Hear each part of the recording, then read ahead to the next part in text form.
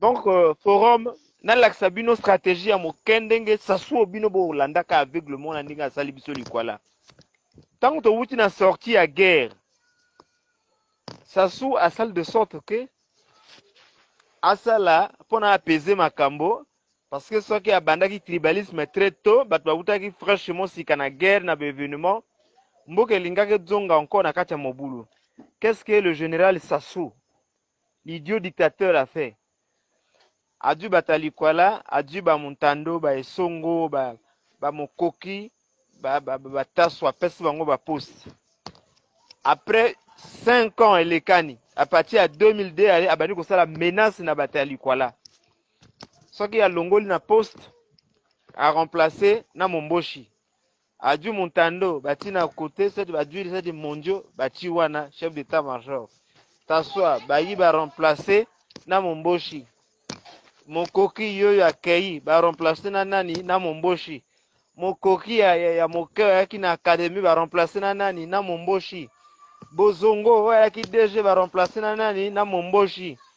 Tango Ndumba Zalai akufi ba remplacer na nani? Na Momboshi. Bazui nani Mongongolo batie après bazui Momboshi ba remplacer wana. Te asali bino mosala, ça dit alongoli bino, a écarté bino tout. Vous avez perdu. Maintenant, il a pris qui? Il a pris des figurants. Donc, mon Henri Nzomboye, des quoi, des quoi là, c'est des figurants, tout juste pour masquer l'image, pour dire que non, il travaille avec tout le monde. donc bokosama te likwala oyo eza esu temps que notre ndima esclavage te nana na besoin ya kovivre ya kovivre te ça soit alingi bino te akoempoisonne bino ya petit feu me bokoyeba te je vous dis bokende koloba soki bakokata kingo vomio tokata kingo mpo na mboka ibutu ya petit feu soki moto apimi bino mai apimi bino courant apimi bino nzela apimi bino lekole ya malonga te lopital te lenge bato akoboma bino donc to to to loba non na politique wana vaut mieux tika ye mboka na ye na ba mboshi na ba gérer donc euh, likwala ifo bino boyebaka kino ndenge bino bacadre na biso ndenge bazalaka wa basekaka bango na ndenge moko ya batiyolaka bango na milie ya bamboji kino talanga banyama oyo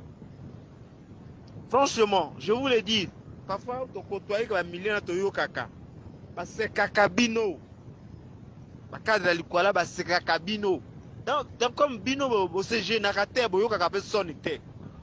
Ba mboshi ba sekaka bino. Je vous dis, ba mboshi ba sekaka bino na ba millions na bango wana. Ndenge bako manipuler bino, ndenge bako appauvrir bino à l'œil nu, ndenge ba marginaliser bino. mikolo bafingaka bino bazoba boa plus que me bazoba je vous le dis soki botie tembe bomene baenquete comme bino bwaka babenga yango nini bato oyo bakipeke te bainkipisi yango wana eswaka bino te mais je vous dis que non bamboshi basekaka bino donc quelque soit elambo bino bokolata bokoyala propre te parce que nini bato ya bino dolale bawa bazoba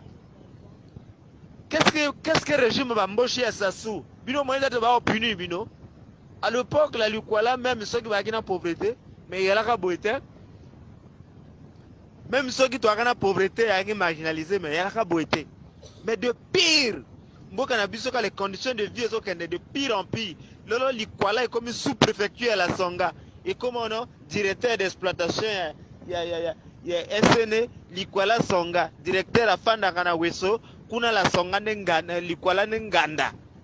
oyo akende kosala mwa séjour azongi dabo akendeke mpe kuna te il est ici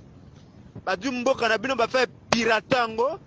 bokozela baélection mpo na bazoba na bino bana likwala ayaya o oh, moto twala na motema lokola ngawa kasi saswa yango azwa to ya kokonza mboka na te bokozela ba election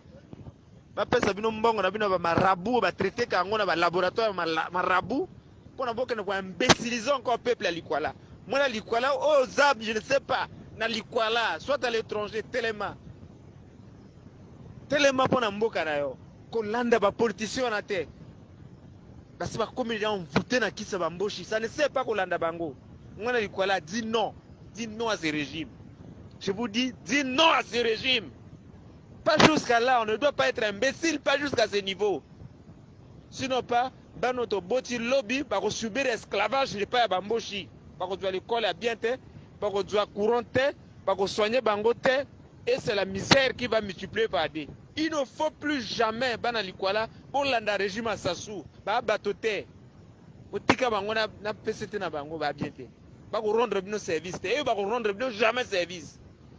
ebakata ya poro ya kotonga lironga tribalement sasa kotonga yango na oyo oyo combien de bateau esemaka tout cela parce que ayebaki no soki badeveloppe lironga C'est Nicolas qui va aller en avant. Nzela ya kosala Lirwanga Infondo babungisa dossier wana na, na batiroir ya babiro ya, ya, ya bamboshi. Nzela ya courant, eh, courant projet eza de bapanneau soleil babungisa yango. Bamboshi bakolakisa bino kenonse bango mpe bakodondwa na mboka yango. Hein? Aéroport oyo balingaka aéroport international même avant guerre troisième aéroport ya monene yaki ya, ya likwala